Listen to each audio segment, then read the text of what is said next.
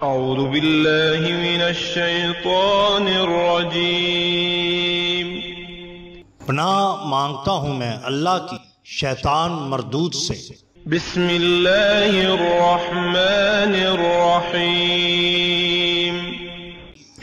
शुरू अल्लाह के नाम से जो बड़ा मेहरबान नहायत रहम वाला है द बॉटम लाइन के नाजरीन कराम अस्सलाम वालेकुम मोहतरम नाजरीन, हम अपनी आज की वीडियो में हज़रत ख्वाजा निज़ामुद्दीन औलिया महबूब इलाही रहमतुल्लाह ताला और एक सूत काटने वाली बुढ़िया का किस्सा आपके सामने पेश करेंगे, जो यकीनन आपके लिए दिलचस्पी का बायस होगा।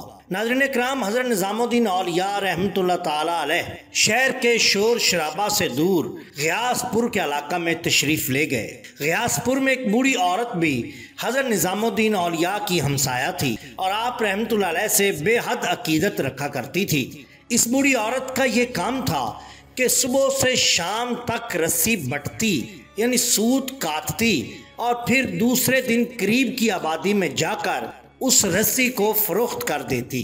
फिर चार पैसे जो हासिल होते, उनसे जौ का आटा और थोड़ी सी तरकारी खरीद लाती। इसके बाद चंद रोटियाँ पकाकर हज़रत ख्वाजा महबूब इलाही की खिदमत में पेश कर दिया करती थी। पहली बार जब इन ज़यीफ खातून ने इस तरह अकीदत का मुजाहरा किया तो हज़रत निज़ामुद्दीन रहमतुल्लाह अलैह ने यह कहकर वो रोटियाँ कबूल करने से इनकार कर दिया। इस गजा से तो खुद तुम्हारा पेट भी नहीं भर सकता। माँ जी फिर हम लोग तुम्हारे नातवा कंधों पर अपने रिजक का बोझ क्यों डालें? हम अल्लाह की इबादत करते हैं। तो फिर अल्लाह ही हमारा राजक है और दूसरी जरूरियात का कफील भी। हज़रत ख्वाजा महबूब इलाही का जवाब सुनकर बूढ़ी औरत गिरिया जारी करने लगी। कहने लगी, मुझे अपनी खिदमत से महरूम ना फरमाइए हजूर। मेरे नामा अमाल में इसके सिवा कुछ नहीं। ज़यीफ खातून के लहजे में इस कदर खलूस और सोजो गुदास था कि हज़रत निज़ामुद्दीन औलिया अलैह इनकार न कर सके और जौ की पकी हुई रोटियाँ कबूल फरमा ली। अब ये इतफाक था या कुदरत की मसलहत कि वो खातून कई दिन से रस्सियाँ तैयार कर रही थी, मगर कोई खरीदार न मिलता था। हज़रत महबूब इलाही और दूसरे दरवेशों की तरह वो खातून खुद भी चार दिन से भूखी थी। हज़रत निजामुद्दीन औलिया से अकीदत का हाल ये था कि वो अपनी तकलीफ़ को भूल गई और हम वक्त इस फ़िक्र में गर्क रहा करती कि राज के दो आलम किसी तरह चंद रोटियों का इंतज़ाम कर दे और ये मर्दान खुदा इन रोटियों से रोजा कुशाई कर लें। बिलाकर पाँचवें दिन किसी शख्स ने इन खातून से एक रस्सी खरीद ली। खातून बहुत खुश थी कि आज फाका कशी का तसलसल टूट जाएगा। रस्सी फरोख्त करने के बाद जो रकम हासिल हुई, वो महज इतनी थी कि इससे एक शेर जौ का आटा खरीदा जा सकता था। खातून ने यही किया और जब असर का वक़्त करीब आया तो उन्होंने वही शेर भर आटा हज़रत ख्वाजा महबूब इलाही की खिदमत में पेश कर दिया। हज़रत ख्वाजा निज़ामुद्दीन औलिया कुछ देर सोचते रहे, फिर मौलाना कमालुद्दीन याकूब को हुक्म देते हुए फरमाया, ये नज़र खलूस है, इसे कबूल कर लो। और आटे को देग में डालकर पकने के लिए रख दो। हज़रत शेख कमालुद्दीन याकूब ने पीरो मुर्शद के हुक्म पर अमल करते हुए जौ के आटे को देग में डाल दिया और फिर ज़्यादा मिकदार में पानी भर दिया। इसके बाद आग दहका दी। ऐसा करने से हज़रत ख्वाजा महबूब इलाही का मकसद ये था कि अगर आटे के अलावा गैब से कुछ और हासिल हो तो इसे भी देग में डालकर पका लिया जाए। इस तरह गजा की मिकदार बढ़ जाती वरना अगर रोटियाँ पकाई जाती तो एक दो नवालों से ज़्यादा खुराक किसी दरवेश के हिस्सा में ना आती। आग के शोले बढ़ते रहे और पानी उबलता रहा। इसी असना में गुदड़ी पोश फकीर कहीं से घूमता हुआ आया और नाराजनी करने लगा। अगर किसी के पास कुछ है तो इसे फकीर के सामने पेश करे। आज फकीर बहुत भूखा है, जल्दी करो और उसकी भूख मिटा दो। दरवेश नाराजनी करता हुआ कमालुद्दीन याकूब के पास आया। मौलाना उस देग के करीब बैठे थे। नज़दीक आकर दरवेश ने फिर वही सदा लगाई। अगर कुछ है तो खाने को दे दीजिए। देग को बंद क्यों कर रखा है? इसका मुँह तो खोलिए। हज़रत कमालुद्दीन याकूब ने गौर से उस गुदड़ी पोश की तरफ़ देखा। दरवेश का लिबास दरीदा भी था और मैला भी। इसकी दाढ़ी बेतरतीब थी। और बाल परेशान थे। वो अपनी जाहिरी हालत से कोई मजलूम मालूम होता था। मौलाना कमालुद्दीन याकूब जिस मंजिल के मुसाफर थे, वो यकसर होश की मंजिल थी। वहाँ किसी इंतशार किसी जज्बो मस्ती किसी जुनून को कोई दखल न था। मौलाना ने गुदड़ी पोश को एक नज़र देखा और उठकर हज़रत निजामुद्दीन औलिया रहमतुल्लाह की बारगाह में हाजिर हुए। हज़रत महबूब इलाही उस वक़्त कुछ पढ़ रहे थे।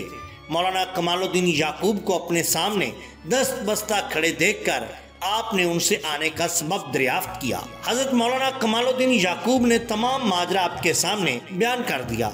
आपने तबस्सुम फरमाया और कहा, इसमें तो इस दरवेश का भी हिस्सा है। हम तो महज मुंतजिम हैं, मखलूक खुदा को खिलाने के लिए ही बैठे हैं। इन दरवेश से भी कह दो, कभी खाना पक रहा है। जैसे ही तैयार होगा, सबसे पहले उन्हीं की खिदमत में पेश किया जाएगा।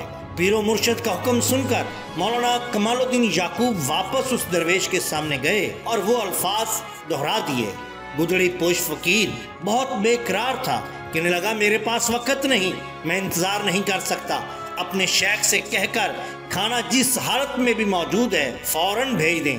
बल्कि ज़्यादा बेहतर ये है कि वो खुद ही मुझे खाना खिलाएँ। ये कहकर वो गुदड़ी पोश फकीर वहाँ से हटा और कुछ फासले पर जाकर बैठ गया। मौलाना कमालुद्दीन वापस हजूर के पास आए और उस गुदड़ी पोश फकीर का माजरा बयान किया। आप सरकार अपनी नशीस से उठे और फरमाया, मेजबान के लिए मेहमान की तवाजो फ़र्ज़ है, मगर इससे भी बढ़कर फ़र्ज़ ये है कि मेहमान जिस तरह भी खुश हो, उसे खुश किया जाए। ये कहकर हज़रत ख्वाजा महबूब इलाही उस जगह तशरीफ़ ले गए। जहाँ वो गुदड़ी पोश खाने के लिए बैठा था। सामने देख पक रही थी, जिसमें शेर भर जौ के आटे के सिवा कोई दूसरी जिन से खुर्दनी शामिल न थी। हज़रत खाया निजामुद्दीन औलिया को देखकर वो दरवेश मुस्कुराया और कहने लगा, शेख, अल्लाह तुम्हें खुश रखे, आज बहुत भूख लगी है, इसलिए तुम्हारे दरवाजे पर चला आया हूँ। अब तुम अपने हाथ से इस फकीर को कुछ खिलाओ। शेख, अब इंतज़ार नहीं। दरवेश बहुत ज़्यादा मुस्तरब था।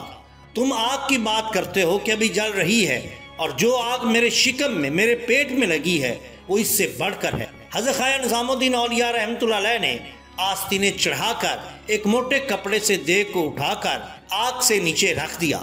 मेजबान को मेहमान की मर्ज़ी का लिहाज रखना चाहिए, और हमारा मेहमान यही चाहता है कि मैं अपने हाथों से दूँ। इसलिए आप सरकार ने उसके सामने देग रख दी, लेकिन उस दरवेश ने आपके खिलाने तक का भी इंतज़ार न किया और उबलते हुए पानी में बेझिझक अपना हाथ डाल दिया।